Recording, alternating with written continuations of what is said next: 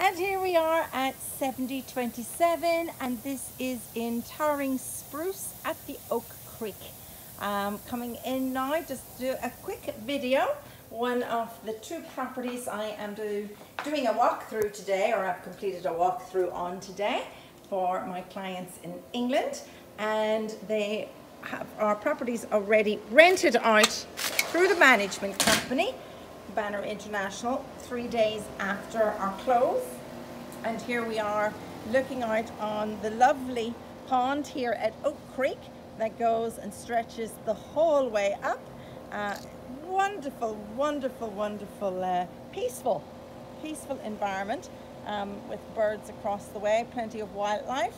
And um, a porch area here outside we have the outside uh, storage unit we have our 1200 square foot living area um, and then our bathroom downstairs and our beautiful beautifully finished um, black wooden kitchen uh, along with our view outside and right over to the swimming pool across the street uh, which is very very nice and of course our powder room downstairs.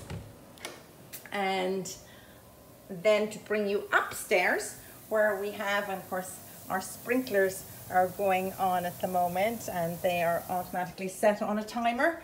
Um, nice solid oak wooden banisters.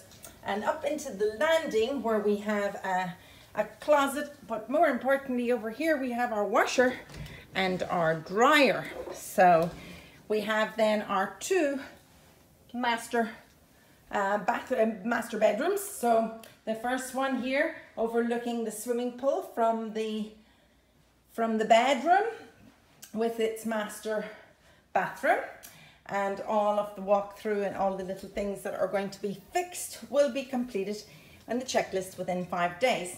The second bedroom boasts the pond view from the bedroom along with its master bathroom.